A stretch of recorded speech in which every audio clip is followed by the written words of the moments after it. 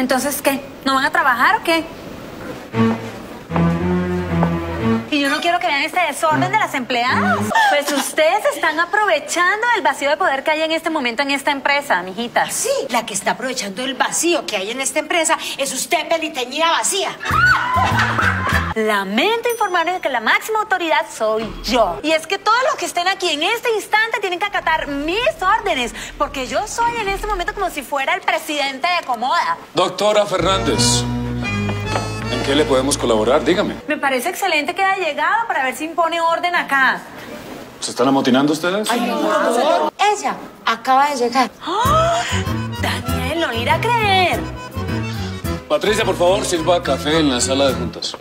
Si alguna vez necesitan una empleada de servicio, una mucama, una ama de compañía, inclusive una secretaria de buenas piernas, avísenme.